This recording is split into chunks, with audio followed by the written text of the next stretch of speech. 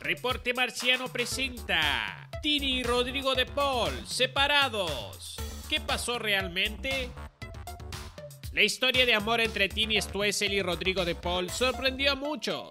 Hay quienes apoyaron a la pareja y quienes por el contrario se mostraron muy enojados, ya que Rodrigo habría engañado a Camila Holmes, con quien tiene dos pequeñas hijas, para ponerse de novio con Tini.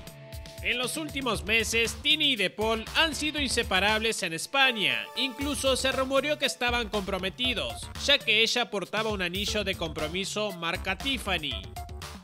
Él la ha acompañado a todos sus shows, donde incluso llevó a su hija mayor Francesca. Por otro lado, cuando Tini hizo pública su lucha contra los ataques de pánico, su novio se mantuvo a su lado y le expresó su apoyo y admiración. La vida te volvió a poner a prueba. Sé que no fue fácil. Sé cómo luchas y aprendo de tu fuerza interior. Te miro con mucha admiración y orgullo por tener la valentía y convicción para superar cada barrera. Brilla, siempre con vos. Te amo.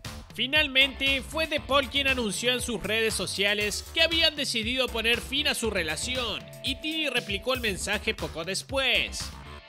Fue todo muy confuso para los fans, ya que durante uno de los partidos de pretemporada del Atlético Madrid en Corea, De Paul mostró un tatuaje con el nombre de Tini en su piel, lo que parecía desmentir los rumores de separación, pero finalmente se confirmó la ruptura.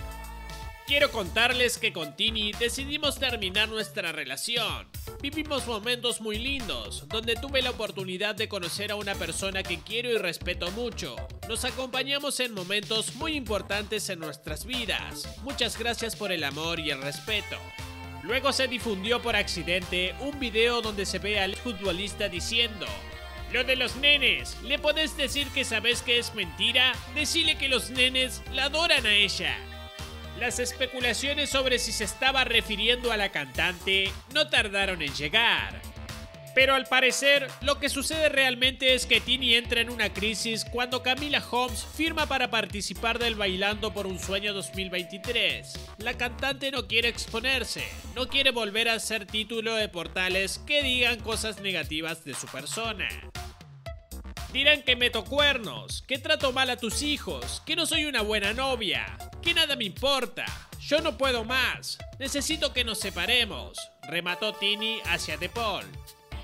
Ahora seguirán caminos separados, mientras se enfrentan los desafíos que la vida les presente. ¿Crees que es definitivo? ¿Se darán otra oportunidad? Déjalo en comentarios. No te pierdas ninguno de mis reportes. Clic aquí para suscribirte.